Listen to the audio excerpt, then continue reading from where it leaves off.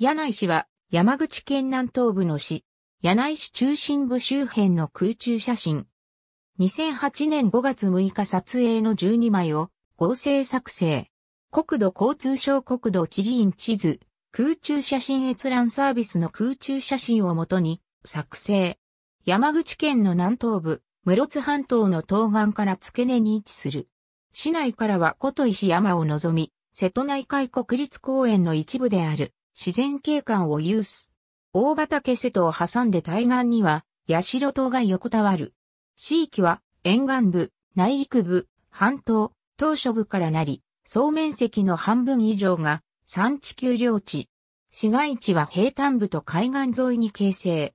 北部の内陸部に盆地が分布、農産村集落が散在。半島、島嶼部は比較的急峻な丘陵地が入り組む海岸線で変化に富んだ地形。全域が瀬戸内海式気候で、冬も温暖で比較的雨が少なく過ごしやすい。年平均気温は摂氏14度から摂氏16度程度。年間降水量は 1600mm から 1700mm 程度である。旧市域。柳井町を除いて、すべての村が大あざ未設置だったため、市政施行後は、旧村がそのまま大あざとなった。以上が大あざであり、以後、旧柳井町において住居表示が実施されている。書きで実施年を記載する。単に旧町の大あざを引き継ぎ、大あざ、大畑を除けば旧町名を表記することはしていない。旧総銀行本店総銀行本店の形をした郵便ポスト農業産品の集積地としての柳井は商業を中心としながら零細な製造業も存在した。山陽鉄道敷設当時は、鉄道機関区が置かれ、通常の列車は停車していた。大戦後の農村景気までは、繁栄を謳歌し、美空ひばりが訪れたこともあった。それ以後、柳井は工場誘致や商業開発がある程度進んだ。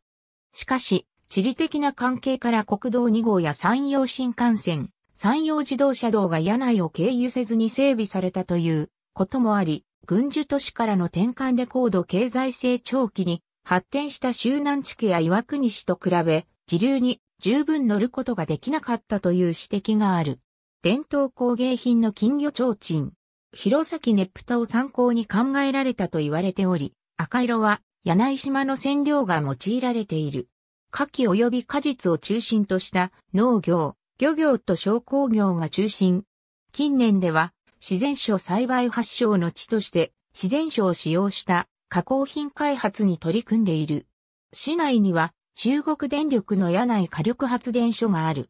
伝統工芸品として金魚提灯と柳井島がある。また、仕込み工程で生醤油に再び麹を投入して再発酵させる甘露醤油発祥の地であり、その様子は鉄道商家にも歌われた。隣の平税町に営業所を持つ、傍聴交通が市内一帯に路線網を持つ。同社は、広島行きの高速バスも運行を行っている。旧大畑町域ではかつて、国鉄バス中国 JR バスが、周防大島方面の路線を有していたが、この路線も2007年9月30日をもって、傍聴交通に移管されている。高速道路、一般国道主要地方道一般県道や内港、駅付近にある港に発着する近距離、遠距離航路網が整備されている。最寄り空港は岩国近代京空港。柳と井戸柳ウェルネスパーク金魚提灯祭り、サザンセトロングライドス大島西側注釈出店。ありがとうございます。